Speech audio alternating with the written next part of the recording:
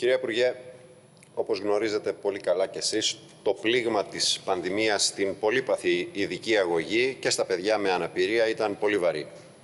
Σφοδρότατο. Είμαστε, όλοι μας φαντάζομαι και οι υπόλοιποι βουλευτές, αποδέκτες συγκινητικών κραυγών αγωνίας πολλών οικογενειών παιδιών με αναπηρία και εμείς αυτή τη φωνή, τη δική τους φωνή, μεταφέρουμε σήμερα στη Βουλή. Δεν είναι μόνο ότι αποκόπηκαν βία από την ειδική μαθησιακή διαδικασία, καθώς τα ειδικά σχολεία έκλεισαν επαόριστον. Δεν υπάρχει κανένα μέχρι στιγμής σχέδιο για την επαναλειτουργία τους και γενικώς από τη μεριά της κυβέρνησης δεν ακούγεται τίποτα για τα ειδικά σχολεία. Αλλά είναι και το ότι αυτά τα παιδιά, όπως και όλα τα άτομα με αναπηρία, στερήθηκαν και εξακολουθούν να στερούνται εκείνη τη σύνθετη διεπιστημονική παρέμβαση που τόσο πολύ έχουν ανάγκη. Θα μου πείτε τώρα έτσι κι αλλιώς και από προ-κορονοϊού ακόμα όλα αυτά πλημελώς παρέχονται από τις κρατικές δομές καθώς ούτε το προσωπικό φτάνει ούτε οι υποδομές είναι αρκετές και κατάλληλες. Στο πλαίσιο όμως τώρα επιπλέον όλων αυτών και των περιοριστικών μέτρων, αναγκαίων περιοριστικών μέτρων, συμφωνούμε ασφαλώς, εκτός από τα ειδικά σχολεία έκλεισαν και τα κέντρα ειδικής παρέμβασης, όπως και τα ΚΔΑΠ ΜΕΑ, με αποτέλεσμα τα παιδιά με αναπηρία να μένουν κλεισμένα στο σπίτι τους για ένα διάστημα που κοντεύει πια τους τρεις μήνες. Τα αποτελέσματα τώρα του συνεχιζόμενου εγκλισμού αυτών των παιδιών με αναπηρία, γιατί είναι ξεχωριστά παιδιά αυτά, έχουν μια αναπηρία που επιβαρύνει την κατάστασή τους ακόμα περισσότερο, τα αποτελέσματα αυτού του εγκλισμού είναι τραγικά. Όχι μονάχα στασιμότητα και σοβαρές δυσκολίες στην όλη τους εξέλιξη, αλλά και πολλά από αυτά τα παιδιά εμφανίζουν προβλήματα υποτροπής μέχρι και απώλεια των όποιων δεξιοτήτων κατάφεραν με πάρα πολύ μεγάλη δυσκολία να αποκτήσουν όλο το προηγούμενο διάστημα. Συνεπώς, το ερώτημα, τα ερωτήματα μάλλον που προκύπτουν είναι τα εξής. Τι προτίθεται να κάνει η κυβέρνηση της Νέας Δημοκρατίας για να πάρθουν όλα τα αναγκαία μέτρα ώστε σε ενδεχόμενη έξαρση της πανδημίας που καθόλου δεν αποκλείουν και οι ειδικοί επιστήμονες να υπάρχει εκείνο το ανάλογο μόνιμο επιστημονικό παιδαγωγικό προσωπικό και οι κατάλληλες φυσικά αίθουσες με την ανάλογη πρόβλεψη των τετραγωνικών μέτρων αναπαιδεί ακόμα θα λέγαμε εμείς και να εξασφαλιστεί, να εξεταστεί η περίπτωση, να εξασφαλιστεί η δυνατότητα μιας κατοίκων επιστημονικής παρέμβασης με όλα φυσικά τα ανάγκια μέτρα προστασίας που ενδείκνυνται για όσα παιδιά μετά από τη εκμυριωμένη και πάλι άποψη των ειδικών χρειαστεί να παραμείνουν ε, στο σπίτι τους.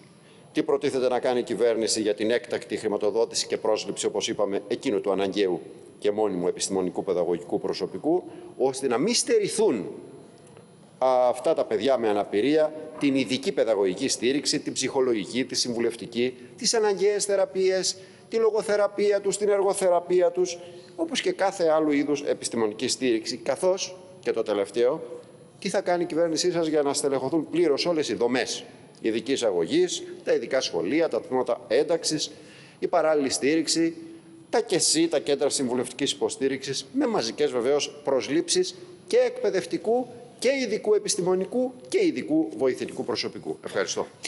Κύριε Δελή, κεντρικό ζήτημα στην ερώτησή σας προφανώς είναι το ζήτημα της πανδημίας ε, και όλων των συνεπειών, πόσο μάλλον δε στα παιδιά μας, τα οποία αυτή τη στιγμή χρειάστηκε για πάρα πολύ μεγάλο χρονικό διάστημα, απρόσμενα, βία, απότομα, να παραμείνουν στο σπίτι.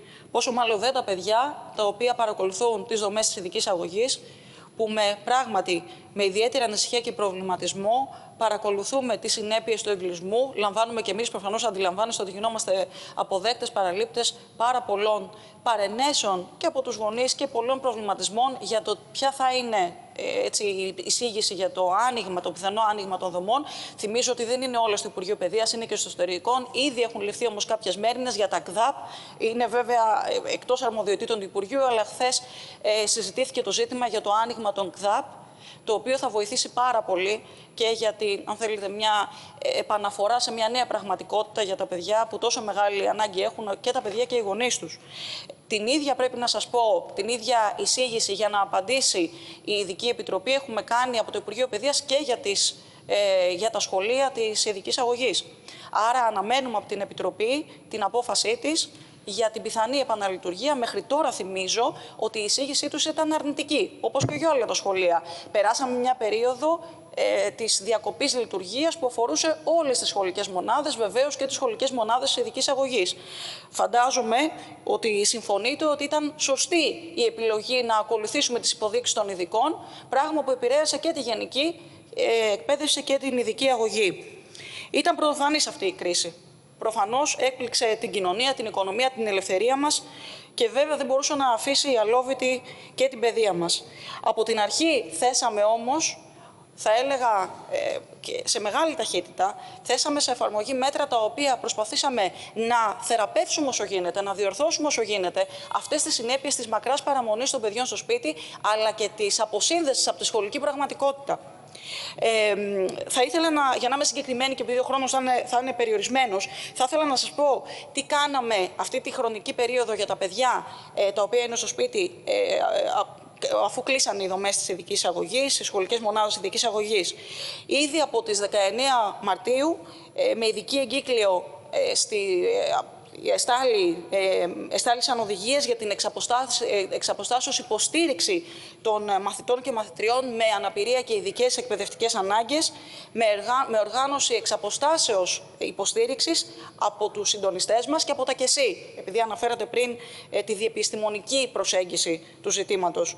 Επίσης, με την εγκύκλιο του Υπουργείου Παιδείας προς όλες τις σχολικές μονάδες, δώσαμε εξειδικευμένες οδηγίες και βέβαια και πρόσβαση σε υλικό, το οποίο αφορά στην εκπαίδευση των παιδιών με αναπηρία και ειδικές εκπαιδευτικές ανάγκες. Αναφέρατε στην πρόταση ότι αυτή είναι μια απλή αποστολή εγκυκλίων. Θα σας έλεγα ότι δεν είναι μια απλή αποστολή εγκυκλίων, γιατί αυτό αφορά και υλικό, αλλά και οδηγίες που δεν έχουν να κάνουν μόνο με το μαθησιακό υλικό, αλλά όπως είπα πριν και την ενεργοποίηση των, των, των υπηρεσιών και εσύ, για να μπορέσουν εξ με συνεδρίες, ακόμα και με χρήση, ξέρετε, των ψηφιακών μέσων να συνδράμουν και να βοηθήσουν τα παιδιά. Δεν θέλω να εξοραίσω την κατάσταση. Προφανώς, πάρα πολλές περιπτώσεις παιδιών αυτή τη στιγμή δεν δέχτηκαν ή δεν μπόρεσαν να γίνουν απολύπτες παραλήπτες τέτοιων, τέτοιων προνοιών. Όμως έγινε το πρώτο βήμα και μια πολύ σημαντική παρακαταθήκη, έτσι ώστε αυτό το οποίο θα συνέβαινε διαζώσεις να το μετατρέψουμε σε μια εξαποστάσεως διαδικασία. Επίσης, και αυτό είναι εξαιρετικά σημαντικό και θα αδικούσα την, ε, την ε, προθυμία και τον εθελοντισμό πάρα πολλών ανθρώπων, ζήτησαμε εγκύκλιο της 16 Τετάρτου από πιστοποιημένους διερμηνείς της νοηματικής γλώσσας να βοηθήσουν στα μαθήματα της εκπαιδευτικής τηλεόρασης. Και ήταν συγκινητικό το ότι προσέτρεξαν τόσοι άνθρωποι εθελοντικά να πάνε και να συνδράμουν στο κομμάτι της εκπαιδευτικής τηλεόρασης. Για πρώτη φορά δε, δόθηκε δυνατότητα στα παιδιά με προβλήματα ε, κόφωση να μπορέσουν να, να, να παρακολουθήσουν τα μαθήματα Ωραία, της εκπαιδευτικής τηλεόρασης. Καταρχήν να ξεκαθαρίσουμε ότι δεν αμφισβητούμε τις υποδείξεις των επιστημόνων και της Επιστημονικής Επιτροπής. Είναι άλλο οι επιστημονικές υποδείξεις και η, ε, και γενικά η επιστημονική ευθύνη και άλλο βεβαίως η πολιτική ευθύνη η οποία βαρύνει την εκάστοτε κυβέρνηση. Δυστυχώς όμως, ε, κυρία Υπουργέ, ε, και το δυστυχώς πάει για τα παιδιά με αναπηρία, μέχρι στιγμής με τα πεπραγμένα της ε, κυβέρνησης δεν έχει υπάρξει ουσιαστική μέρημνα για τη στοιχειώδη στήριξη αυτών των παιδιών και των παιδιών και των οικογενειών τους. θα επαναλάβουμε αυτό που γράφουμε στην ερώτηση. Το ενδιαφέρον του Υπουργείου εξαντλήθηκε, περιορίστηκε στην αποστολή εγκυκλίων για την εξαποστάσεως διδασκαλία. Ε, θα λέγε κανείς ότι δεν είναι ε, ότι αυτή η απαραίτητη, απαραίτητη ήταν αυτή η παρέμβαση του Υπουργείου, έτσι έπρεπε να κάνει.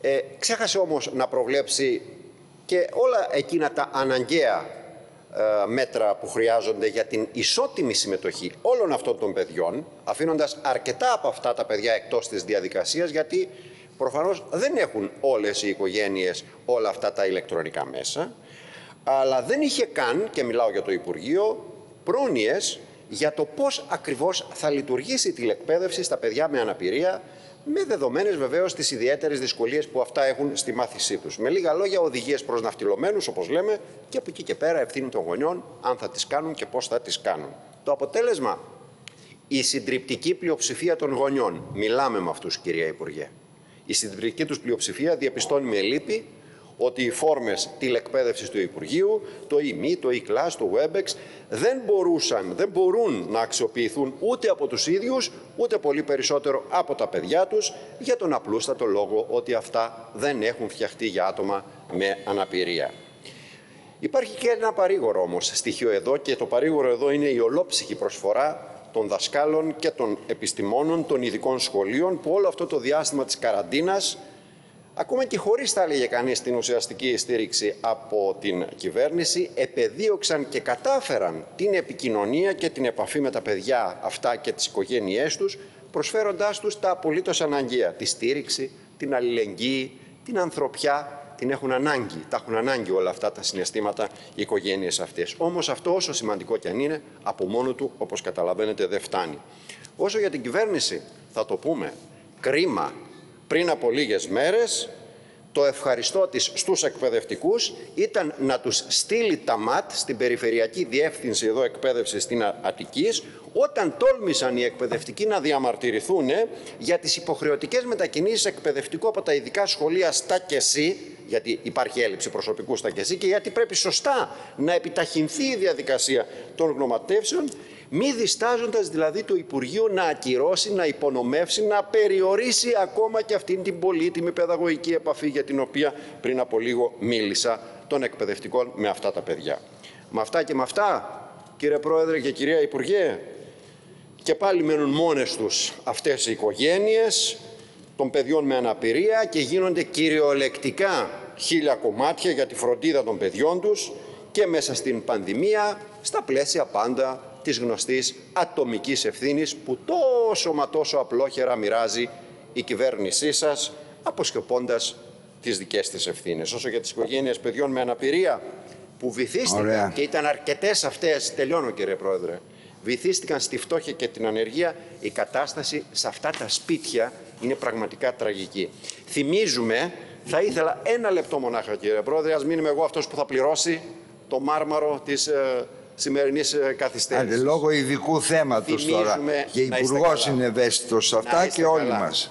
Να είστε καλά, σας ευχαριστώ πολύ. Θυμίζουμε ότι και σε κανονικές συνθήκες οι οικογένειες αυτών των παιδιών με αναπηρία και πάλι ανέβαιναν το δικό τους Γολγοθά για να καλύψουν τα κενά της κατά τα άλλα, λέμε τώρα, δημόσιας και δωρεάν εκπαίδευσης και αναλάμβαναν εξ ολοκλήρου την ευθύνη για την επιπλέον στήριξη των παιδιών τους στην ιδιωτική, απογευματινή και βεβαίως πολύ υψηλά κοστολογημένη επιστημονική στήριξη από τα αντίστοιχα κέντρα για λογοθεραπείες, εργοθεραπείες κτλ. Βλέπετε στην Ελλάδα του 21ου αιώνα, όπως και σε όλες τις αναπτυγμένες καπιταλιστικές χώρες, η ειδική αγωγή, η αποκατάσταση και η πρόνοια για την αναπηρία βρίσκονται όλο και περισσότερο στα χέρια των ιδιωτών και των επιχειρηματικών, επιχειρηματιών, ενώ είναι πολύ ελάχιστες οι δημόσιες δομές.